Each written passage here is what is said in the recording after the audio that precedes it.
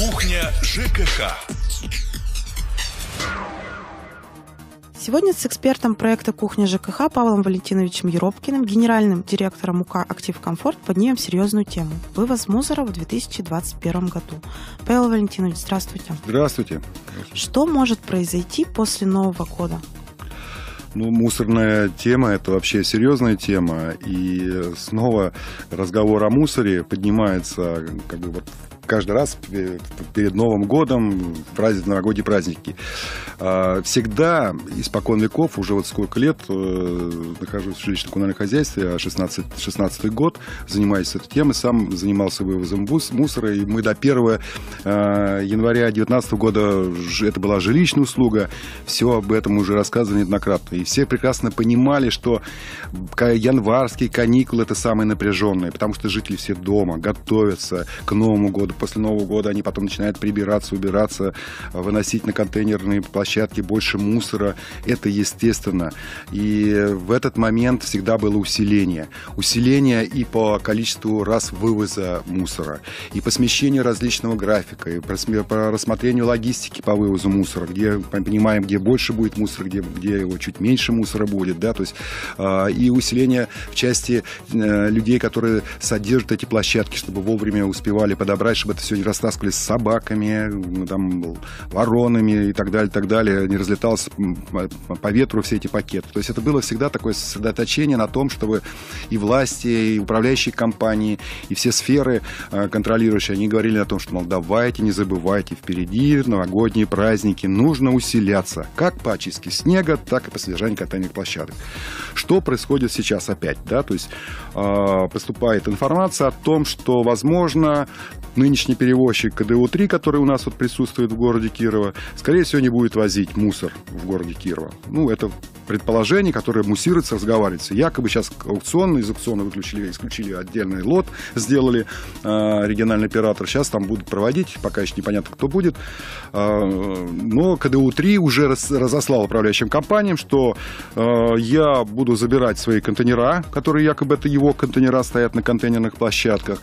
Вы давайте их или покупаете, показывает цену по, по стоимость, конечно, стоимость удивительная. Уже контейнеры, которые используются, ну, не первый год, да, а цена там, ну, на 20, на 15 процентов дешевле, чем новый приобрести.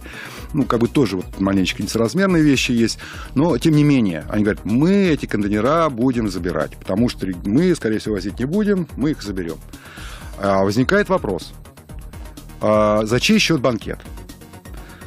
Вот если говорить э, о том, что сейчас жители-собственники должны это срочно купить, ну, я в этом полностью не согласен. Первое.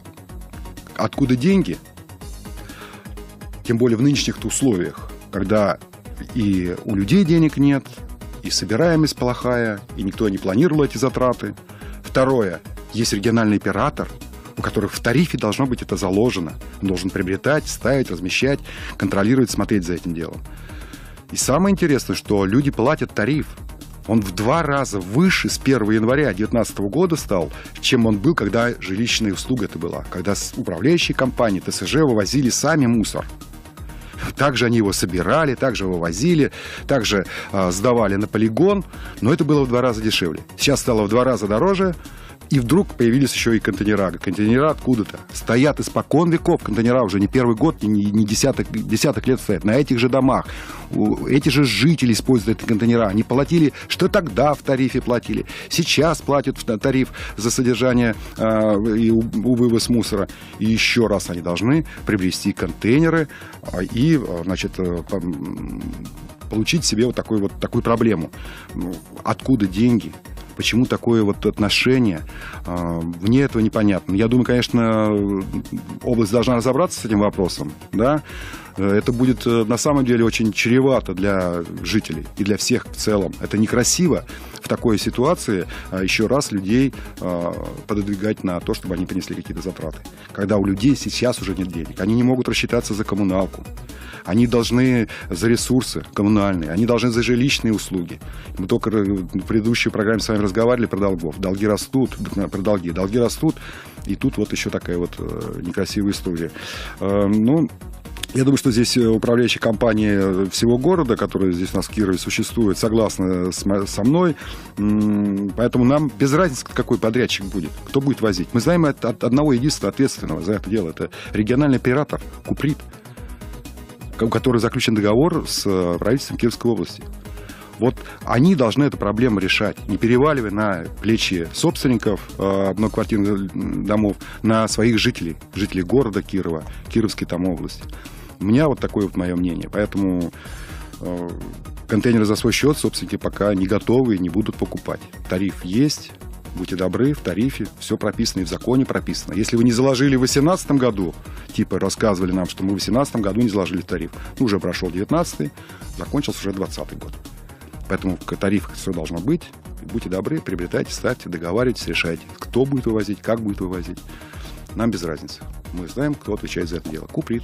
В завершении программы рецепт от Павла Валентиновича по рецепту по экономии той же самой э, воды, даже, даже какой-то, хоть холодной, хоть горячей. Когда вот обычно бреемся, э, мужчины, да, и чистим зубы, у нас привычка открыть кран и там бритву под краном э, смывать, когда бреемся станком.